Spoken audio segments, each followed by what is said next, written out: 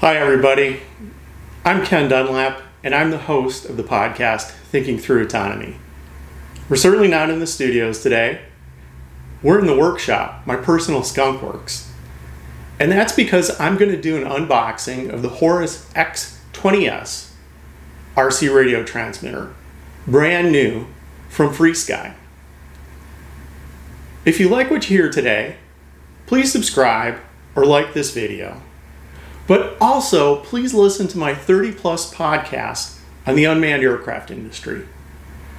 I feature some of the top thinkers, innovators, financiers, and security specialists who are changing our future both in driverless cars and drones.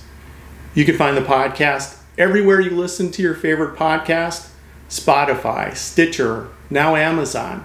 So please join me. All right, let's start talking about the logistics of getting this radio from China to Raleigh, North Carolina.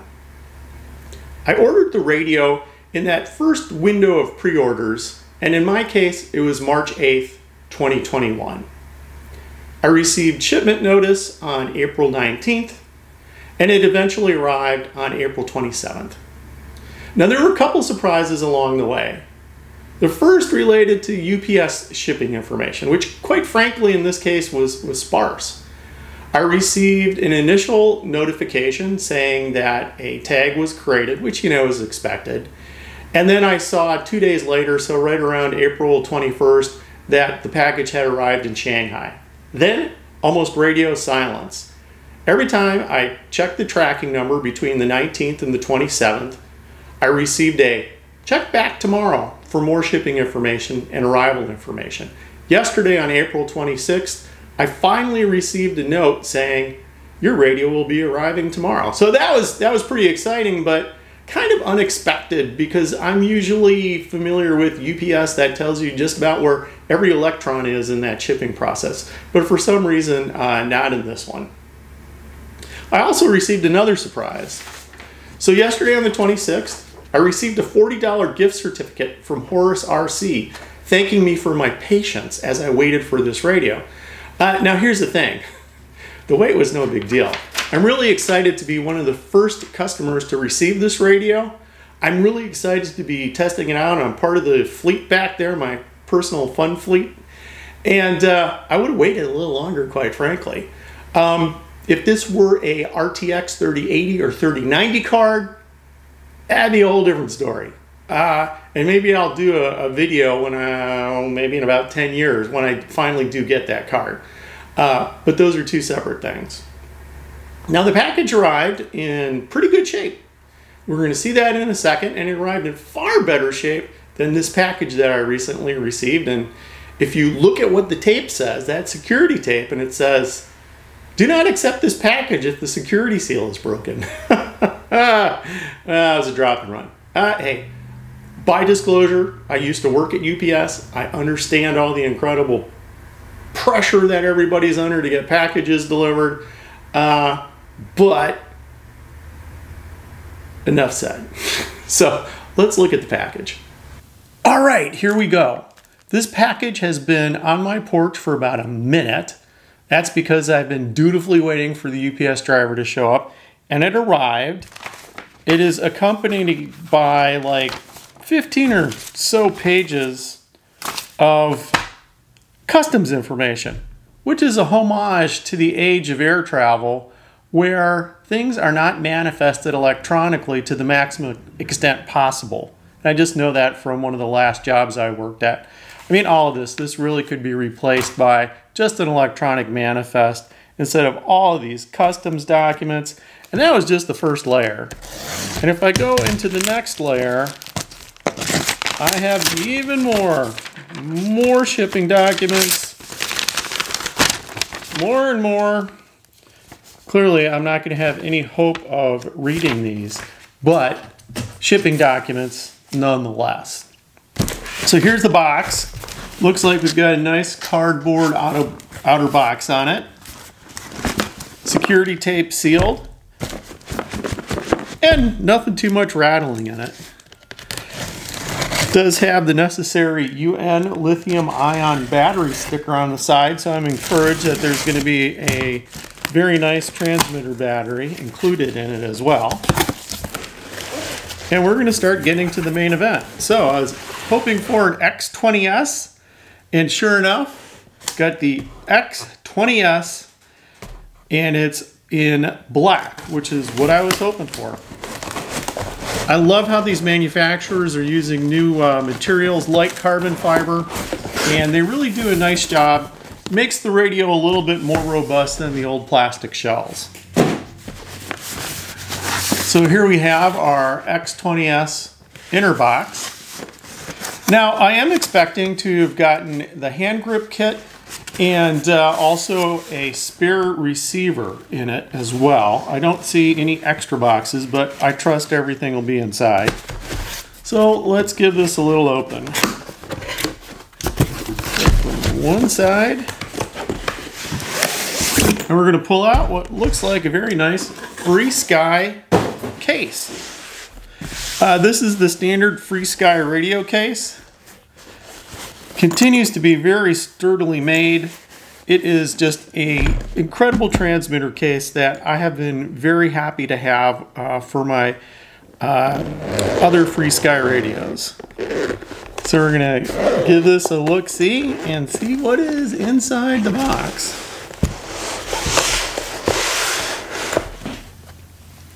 I want to start with all the documentation that's in the cover of this case. FrSky stickers. I have a special place for stickers in my workshop, and I'm sure you do too. Uh, I like this. I think this is great, and uh, certainly it'll go on one of the airplanes that I'm going to put this in. I've got a real nice Freewing Avanti, and this Avanti is going to be the test case for this radio. So thanks to FrSky for the stickers. Now I have an envelope here that says model name R9MX, which I'm going to assume is going to be the satellite receiver. So we'll give this a quick open, see what we have here. So I called it, it's the satellite receiver plus an antenna. So again, that's the included R9 MX receiver and you have it right here. Um, the electronic portion is nicely packaged. This antenna is in very nice shape. And it just looks like a very nice well done piece of kit. So I'm going to put that aside and see what else we have on this side. All right, it is the X20 manual. Got four pages, various languages, well, at least English. So this is the English language manual. And had I been wearing the correct glasses, I think I would have recognized that this was only in English. All right, we've got a nice piece of foam to protect the radio. And I'm going to start just by going on this side with the accessories. Ah! So we have very nice faw leather neck strap. Got the FrSky logo. Some nice hardware and uh, looks like good buckles on it. Beneath that ah, is the R8 Pro receiver, which when you couple it with this, gives you your uh, redundant capability over two spectrums.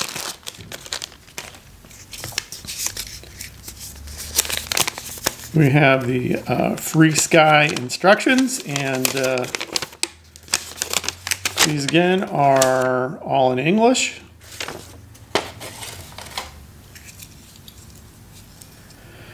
And the R8 Pro Archer receiver.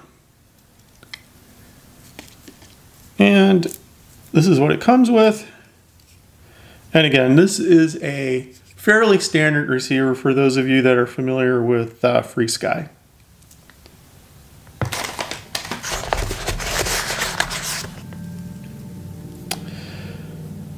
Looks like a USB to a USB-C cable. It's nice that FrSky decided to include one of these. More because I tend to, to lose these cables. uh, you give me one of these and it has a half-life of about 10 or 15 minutes. So always looking for a nice replacement cable. Uh, also forgot uh, a connector for the receiver.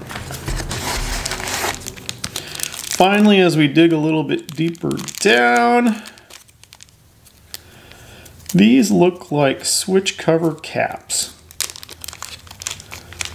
So we have a couple of switch cover caps and what looks like to be, no, a small black strap of some sort. I'll figure out what that's for a little bit later after I have all these parts here. All right, now I'm going to get to the main event.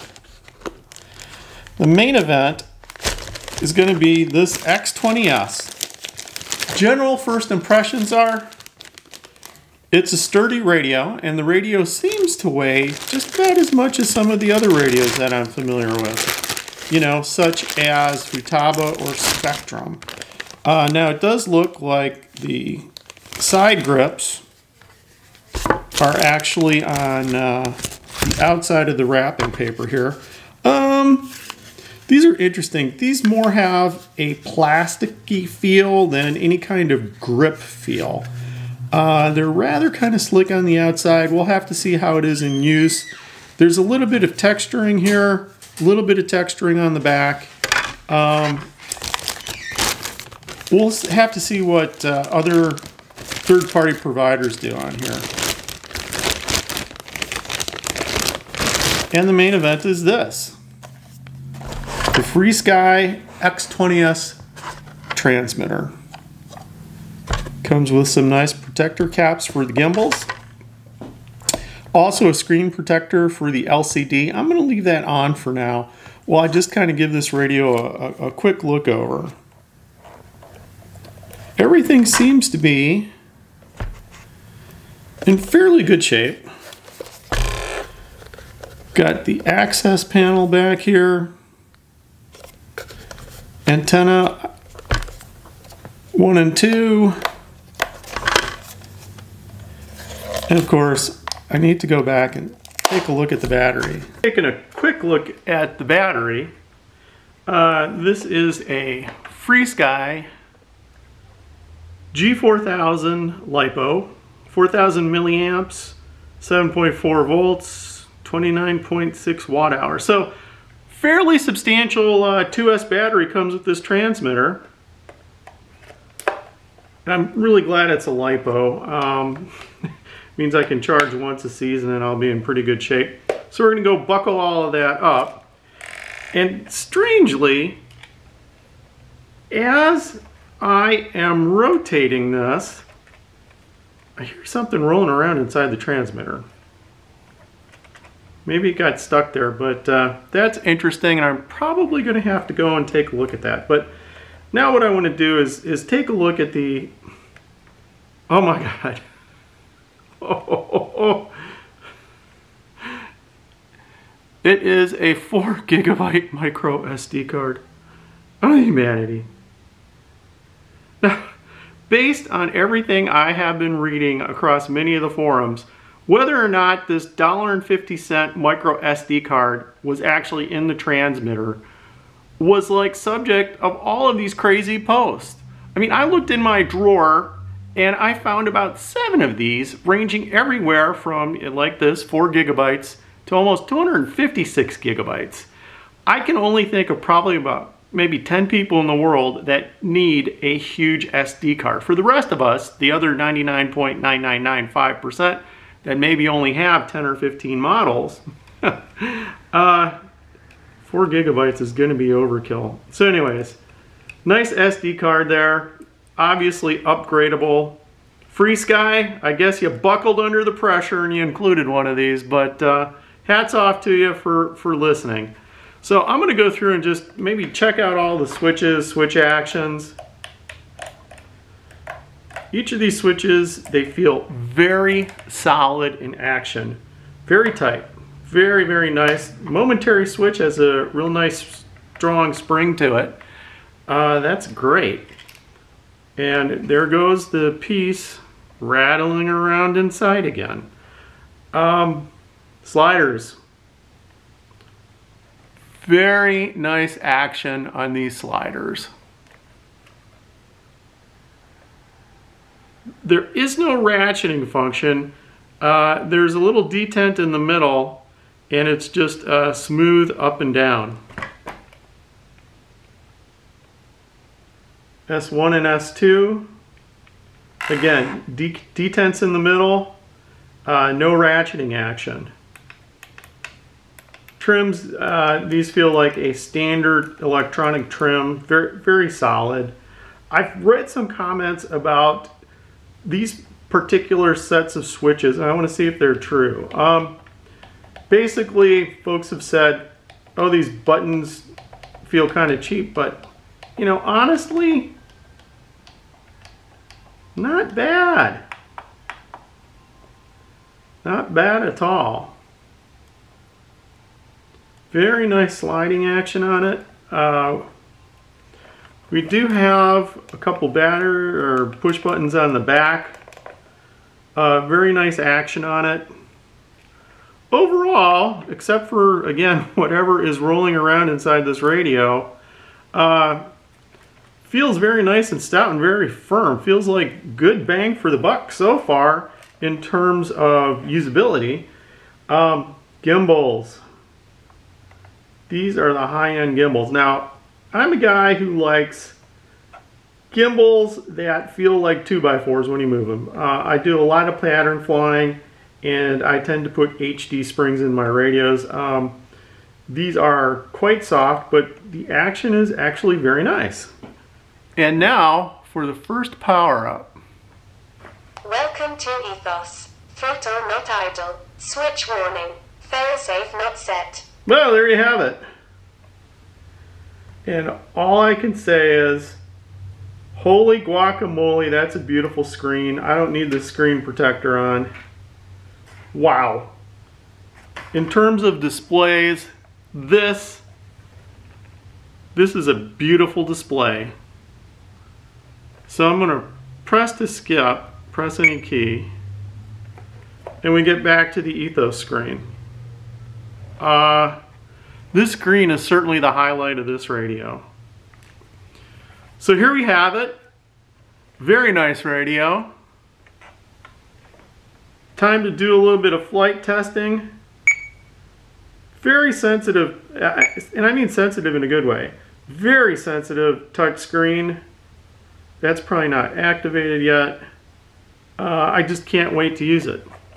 So this is the FrSky X20S unboxing. Uh, look for it. And, uh, you know, based on what I'm seeing here, you're, you're not going to be disappointed at all. This is a very, very solid high-end feeling radio. Uh, again, the only drawbacks are these side grips. Wow, you know, those are um, not much grip to them and they slide on nicely. I think the jury's going to be still out on that uh, whether or not a third party might have grips that might in fact be a little bit softer. You know, I would prefer soft and um, maybe having a little bit more grip than these. And the only other downside in this whole unboxing is there is something rolling around inside of the radio. And at some point, I'm going to crack this open and see what we have. But first impressions, very positive. Very good job by FrSky. Thank you so much for tuning in. Don't forget, we've got the podcast Thinking Through Autonomy, 30 plus episodes, iTunes, Spotify, Stitcher, you name it, you can find us. If you want to hear about the latest in AI, the latest in UAS and UAVs, and really where the money's going in the UAS industry, please give us a call. Oh, this is a very, very pretty radio. Can't wait to use it. Um, and finally, power switch. That's a good power switch. Very nice. Take care. See you later. This is Ken Dunlap signing off.